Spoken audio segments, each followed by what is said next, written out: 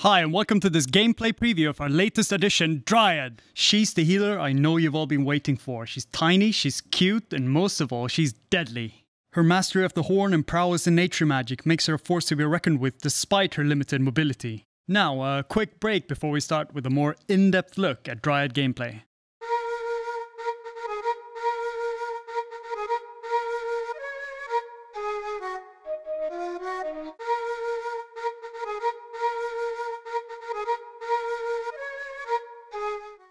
Ah, wonderful. Let's run through her abilities now. Her primary attack, Song of Despair, is a long range, rather quick attack that, because of her varying self esteem, allows her to run faster when she hits someone. Her secondary ability Soothing Melody, of course, a healing spell that slightly reduces the duration of negative effects.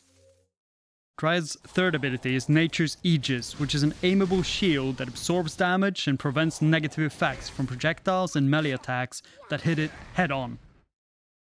Her fourth ability is Nature's Wonder and creates a circular grove that slightly slows enemies. When the Dryad casts Soothing Melody inside the grove, it pulses with energy and slightly heals all allies inside it.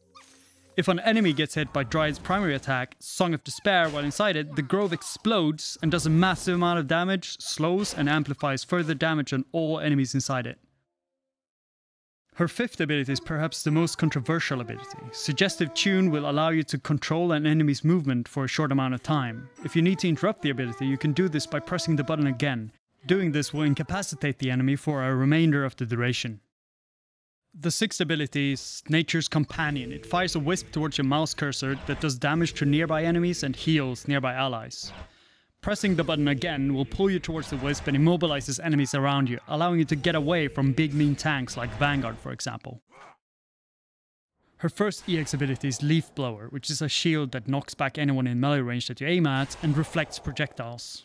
This ability is extremely effective at preventing pressure, but has a rather long cooldown. The second EX ability is called Purify and is an area dispel that does damage to enemies and healing to allies, allowing you to perhaps break a stone shield off an enemy or dispel sleep from your allies.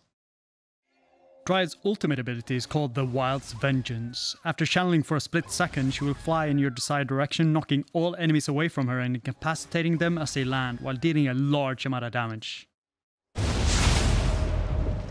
Thank you for watching this gameplay preview and I hope you'll enjoy Dryad as much as we do.